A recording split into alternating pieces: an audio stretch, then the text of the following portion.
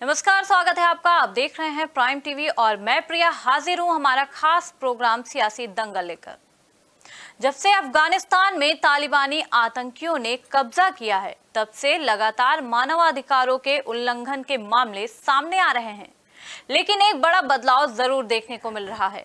अब अफ़गानिस्तान नागरिकों ने, जिसमें कि महिलाएँ भी शामिल हैं, उन्होंने तालिबान का विरोध करना खुलकर शुरू कर दिया है। अफ़गानिस्तान के स्वतंत्रता दिवस के मौके पर तालिबान के झंडों को फाड़ दिया गया है। वहीं अफ़गानिस्तान जिंदाबाद के नारे भी लगाए गए। दूसरी तरफ़, अब संयुक्त राष्ट्र संघ ने मामले की गंभीरता को समझना शुरू कर दिया है। यूरोपीय संघ समेत दुनिया के कई देशों ने तालिबान को मान्यता देने से साफ़ इनकार कर दिया है। भारत में भी तालिबान को लेकर उच्च स्तरीय बैठकें की जा रही हैं। सभी देशों का पहला मिशन, अपने नागरिकों को अफ़गानिस्तान से सुरक्षित वापस लाना है। देखिए हमारी ये रिपोर्ट।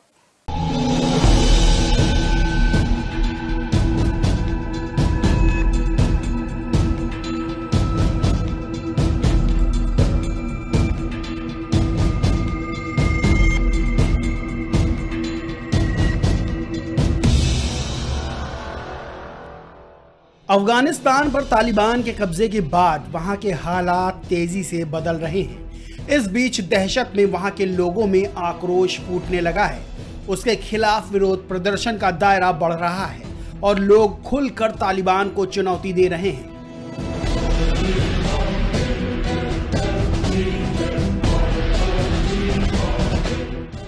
अफ़गानिस्तान के स्वाधीनता दिवस पर राजधानी काबुल समेत कई शहरों में लोग राष्ट्रीय ध्वज लेकर तालिबान के खिलाफ बाहर निकले। उसके खिलाफ प्रदर्शन किए और कुछ जगहों पर तालिबानी झंडे को फाड़कर फेंक दिया।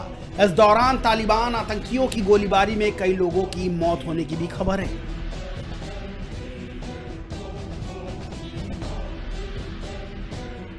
अफ़गानिस्तान में पैदा हुए गंभीर संकट को लेकर नाटो ने आपातकालीन बैठक बुलाई है। इस अहम बैठक में वहाँ के हालात को लेकर विचार होगा।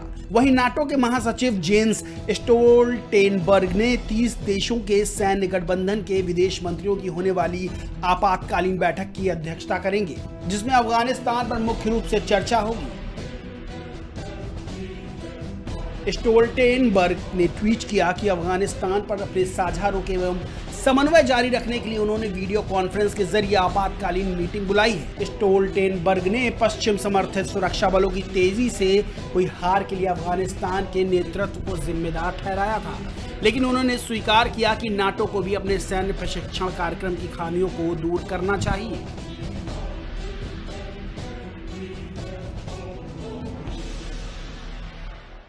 एक अमेरिकी अधिकारी ने बताया कि अमेरिका ने 14 अगस्त से 7000 लोगों को एयरलिफ्ट किया है और जुलाई के अंत से 12000 लोगों को निकाला है।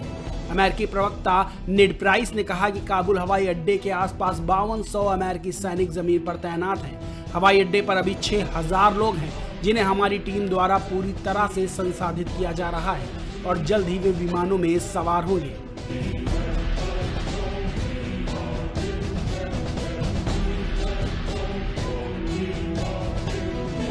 आगे नेट प्राइस ने कहा कि हम अफ़गानिस्तान में जमीनी स्थिति से वाकिफ हैं। पिछले 24 घंटे के भीतर 2000 से अधिक यात्री सुरक्षित स्थानों पर पहुँचे हैं।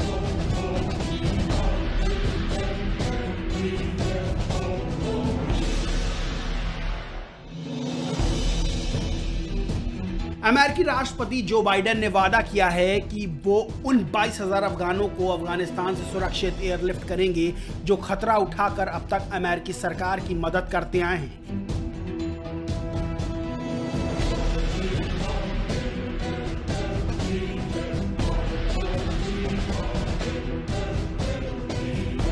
इनमें से बहुत से अफगान नागरिक तालिबान रुकावटों के कारण प्रांतों में ही फंसे हैं और अभी भी काबुल तक नहीं पहुँच पाए हैं।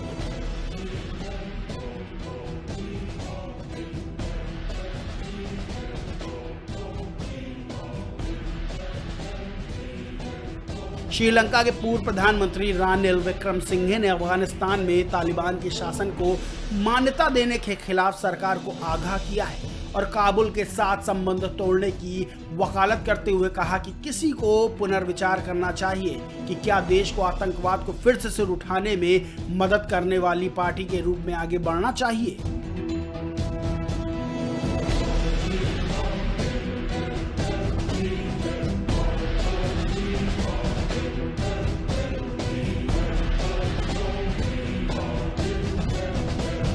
बता दें, अमेरिकी फौजों के अफ़गानिस्तान छोड़ते ही तालिबान ने राजधानी काबुल समेत पूरे अफ़गानिस्तान पर कब्जा कर लिया है। अफगानिस्तानी राष्ट्रपति पहले ही मुल्क छोड़ चुके हैं। वही आर्मी और मलेशिया कमांडर देश छोड़कर भाग रहे हैं। सड़कों से लेकर राष्ट्रपति भवन तक तालिबानियों के कब्जे में आ चुका है, जिसके बाद पूरा विश्व महिलाओं और बच्चों की सुरक्षा को लेकर चिंतित नज़र आ रहा है।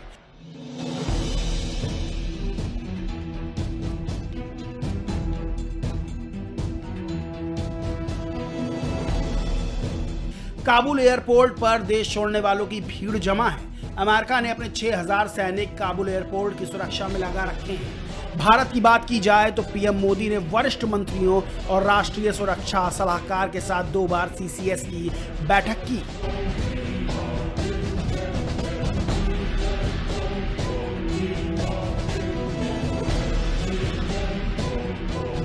पीएम मोदी ने अफ़गानिस्तान में फंसे भारतीयों को सुरक्षित निकालने के आदेश दे रखे हैं। बड़ी बात यह है कि जहाँ चीन, पाकिस्तान समेत रूस जैसे देश तालिबान का समर्थन कर रहे हैं, वहीं यूरोपीय संघ और पश्चिमी देशों ने तालिबान को मान्यता देने से साफ़ इनकार कर दिया है।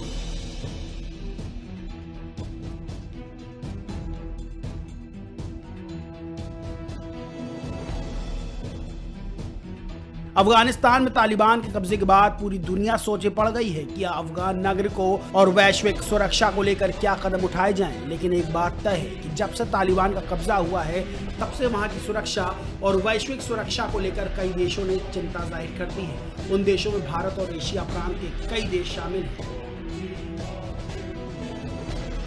Desk report, prime TV.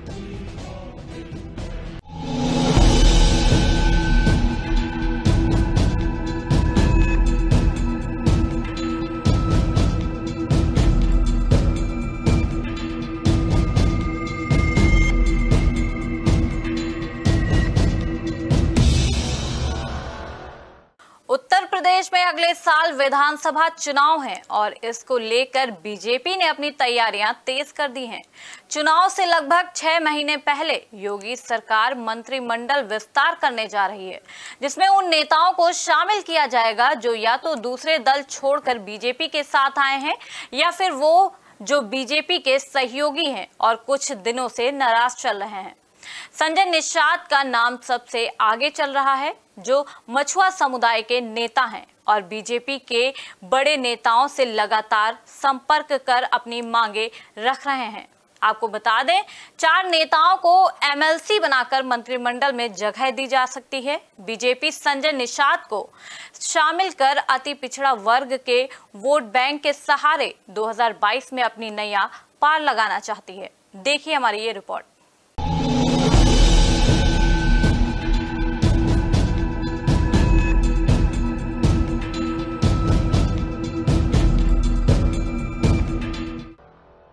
Uttar Pradesh में अगले साल होने वाले विधानसभा चुनाव से पहले योगी सरकार अपने मंत्रिमंडल में विस्तार और फेरबदल का कदम उठा रही है। बीजेपी के राष्ट्रीय अध्यक्ष जेपी नड्डा, केंद्रीय गृह मंत्री अमित शाह और बीएल संतोष से दिल्ली में मुख्यमंत्री योगी आदित्यनाथ, प्रदेश अध्यक्ष स्वतंत्र देव सिंह व प्रदेश महामंत्री संगठन सुनील बंसल की मुलाकात के बाद यूपी में कैबिनेट विस्तार की संभावना जताई जाने लगी है। राज्यपाल कोटे से मनोनीत होने वाले एमएलसी के नामों पर भी बीजेपी के शीर्ष नेताओं के बीच चर्चा कर उन्हें फाइनल कर लिया गया है। मंत्रिमंडल विस्तार के साथ ही एमएलसी मनोनयन की प्रक्रिया भी रुकी है। चर्चा यही है कि नए एमएलसी में से भी एक दो को मंत्री बनाया जा सकता है। ऐसे में बीजेपी हर तरह से समीकरण पर विचार कर रही है।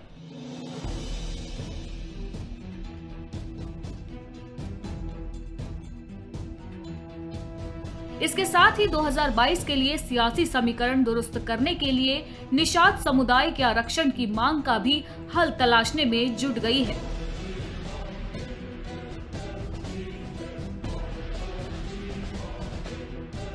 यूपी विधानमंडल का मानसून सत्र स्थगित होते ही सीएम योगी आदित्यनाथ, प्रदेश अध्यक्ष स्वतंत्र देव सिंह और प्रदेश महामंत्री संगठन सुनील बंसल दिल्ली पहुँचे। यूपी के तीनों नेताओं ने बीजेपी शीर्ष नेतृत्व के साथ बैठक की। सूत्रों की माने तो नड्डा और शाह से हुई मुलाकात में मंत्रिमंडल विस्तार और एमएलसी बनाए जाने के लिए चार नामों पर सहमति बन गई है।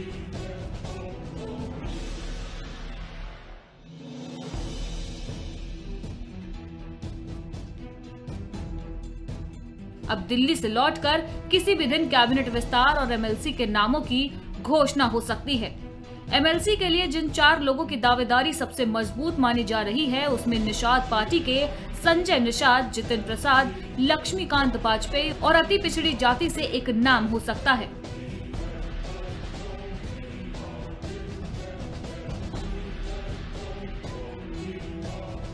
इस तरह बीजेपी यूपी में पिछड़ों और ब्राह्मणों को साधने की रणनीति अपना सकती है, क्योंकि विपक्ष इन्हीं दोनों पर घेरने में जुटा हुआ है। नड्डा और शाह के साथ हुई बैठक में सिर्फ़ मुख्यमंत्री योगी आदित्यनाथ, सुनील बंसल या फिर स्वतंत्र देव सिंह ही नहीं थे, बल्कि बीजेपी के सहयोगी पार्टी निषाद पार्टी के अध्यक्ष संजय निषाद भी मीटिंग में थे।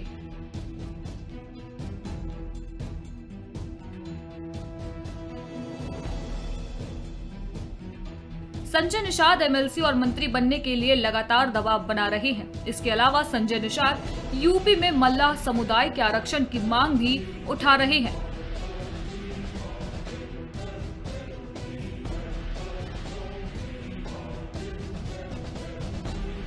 माना जा रहा है कि भाजपा प्रदेश और राष्ट्रीय नेतृत्व की इस अहम मुलाकात में निषाद समुदाय आरक्षण के मुद्दे पर भी चर्चा हुई। केंद्र सरकार से राज्यों को मिले अधिकार के तहत प्रदेश की कुछ सामान्य वर्ग में शामिल जातियों को पिछड़े में शामिल किया जा सकता है और सत्रह अति पिछड़ों को अनुसूचित जाति वर्ग में शामिल करने की प्रक्रिया पहले से संभावित है। ऐसे में योगी सरकार यूपी चुनाव से पहले निषादों के आरक्षण का ताव भी चल सकती है।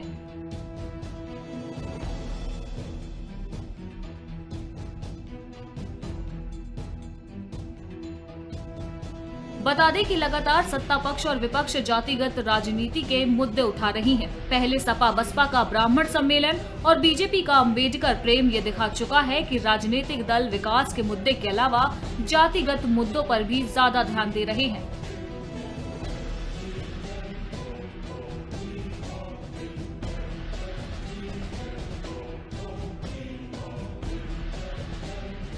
इसकी मानगी तब से ज़्यादा देखने को मिली जब से केंद्र सरकार ने संसद में ओबीसी बिल को हरी झंडी दिखाई। तभी से यूपी में बीजेपी की 2022 को लेकर उम्मीद जाग गई है। बीजेपी ये बात अच्छे से समझ गई है कि सवर्ण के साथ पिछड़ा और अति पिछड़ा वर्ग का वोट उसे मिल जाए तो बीजेपी की नैया आसानी से पार हो सकती है।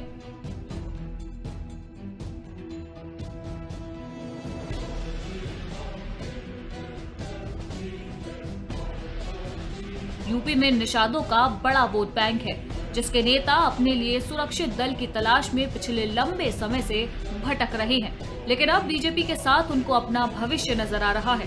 बस इसी के चलते निषाद पार्टी के अध्यक्ष संजय निषाद लगातार बीजेपी के बड़े नेताओं से मुलाकात कर रहे हैं।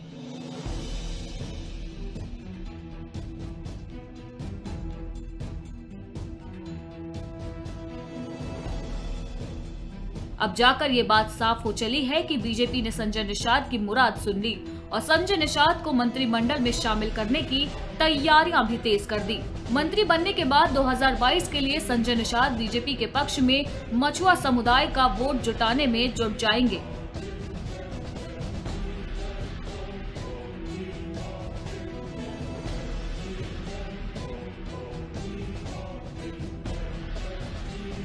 यूपी में मछुआ समुदाय का बड़ा वोट बैंक है। अगर आधा वोट बैंक भी बीजेपी के पक्ष में आ जाता है तो कई सीटों पर बीजेपी एक तरफा जीत हासिल कर सकती है। Desk report prime TV.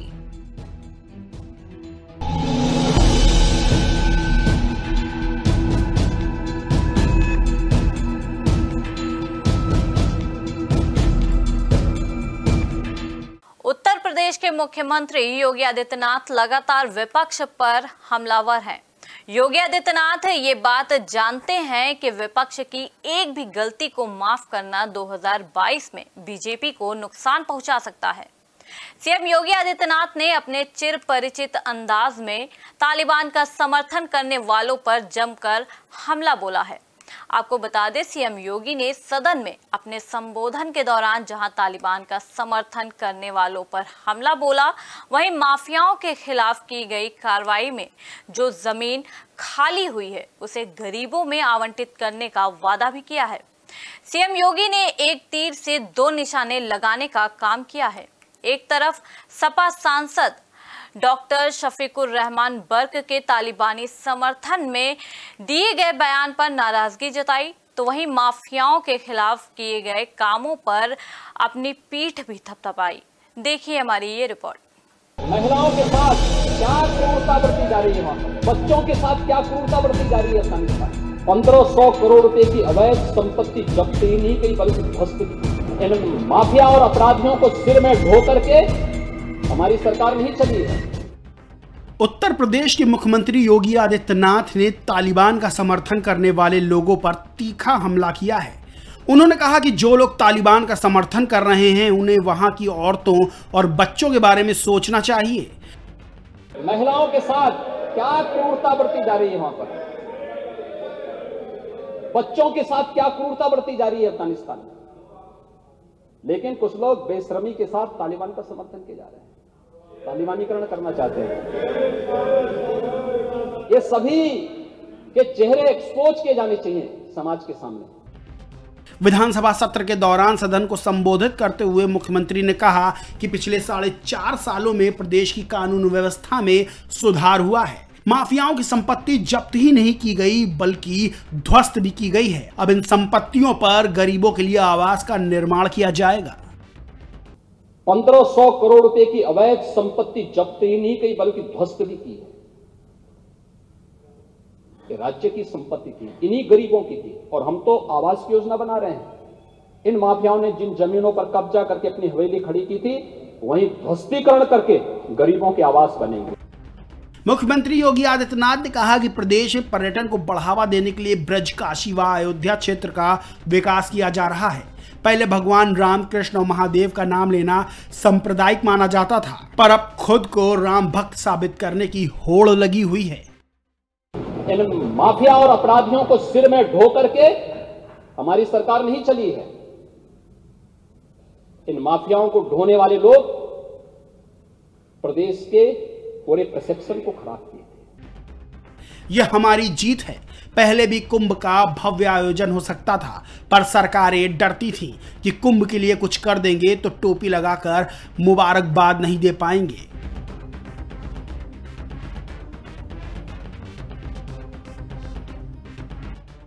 मुख्यमंत्री योगी ने एक हज़ार योग्य युवाओं को लैपटॉप व टैब देने के साथ ही तीन प्रतियोगी परीक्षाओं में शामिल होने वाले परीक्षार्थियों को भत्ता देने की घोषणा की है।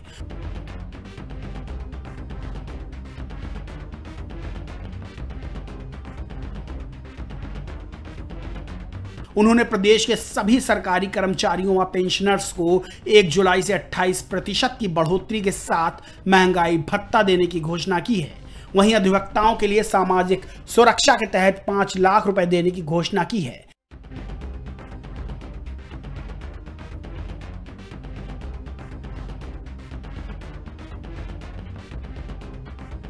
मुख्यमंत्री योगी ने प्रदेश के विकास की चर्चा करते हुए कहा कि यूपी सरकार का बजट पिछले पाँच साल में दो गुना हो गया है।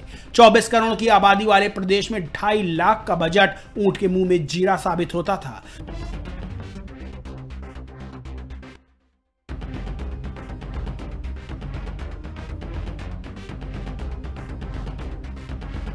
यही कारण था कि प्रदेश अर्थव्यवस्था में पिछड़ा हुआ था। लेकिन अब यूपी निवेश के लिए सबसे अच्छे प्रदेशों में शामिल है।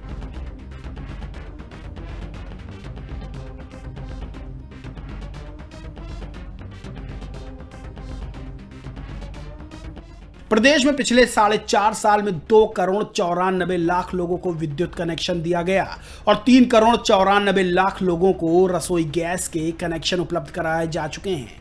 ये सब बिना किसी जाति व धर्म देख कर किया गया है। हम विकास में किसी से भेदभाव नहीं करते। उन्होंने कहा कि यूपी में कोरोना के दौरान सबसे अच्छा कार्य किया गया।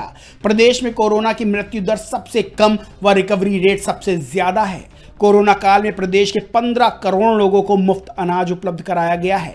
योगी ने बताया कि गरीबों को राशन देने के लिए 15 से 25 किलो वाले बैग उपलब्ध कराए गए हैं।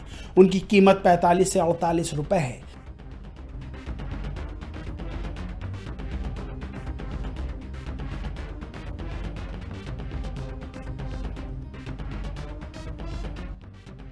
मुख्यमंत्री योगी ने कहा कि प्रदेश में सर्वाधिक बेरोजगारी के आरोपों का खंडन करते हुए हमारी सरकार ने चार लाख से ज़्यादा सरकारी नौकरियाँ दी हैं।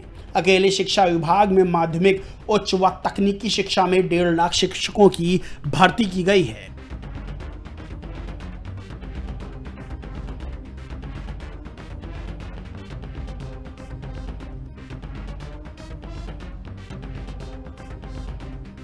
बता दें, यूपी में 2022 के विधानसभा चुनाव को देखते हुए योगी सरकार लगातार योजनाओं को हरी झंडी दिखा रही है। चाहे युवाओं को लैपटॉप देने की बात हो या फिर महँगाई भत्ते में बढ़ोतरी की। योगी सरकार ये बात जानती है कि इस समय जनता को सीधा लाभ देने से वोट खसक कर बीजेपी के पास आ जाएगा।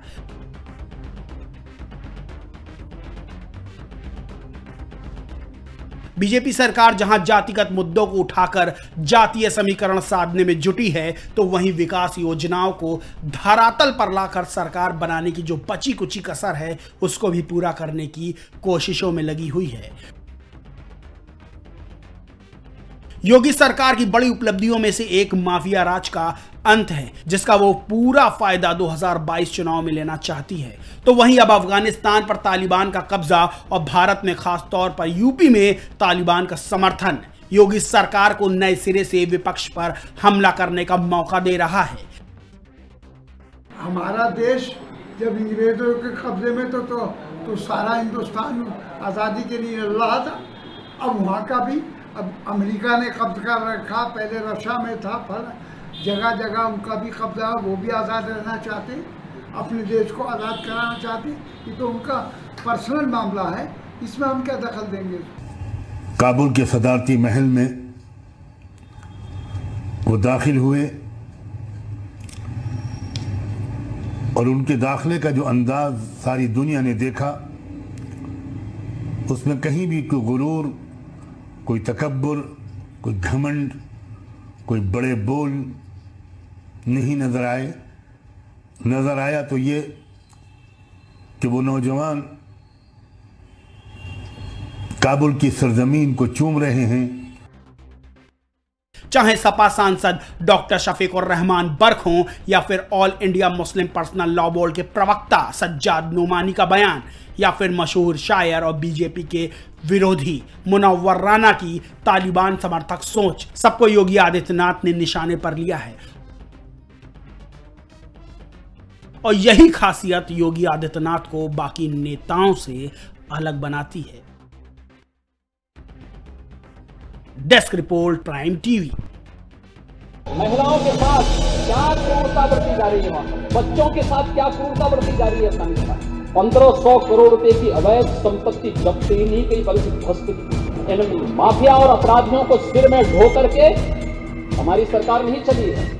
तो फ़िलहाल आज सियासी दंगल में इतना ही। हम फिर हाजिर होंगे एक नए मुद्दे के साथ। तब तक आप देखते रहें प्राइम टीवी।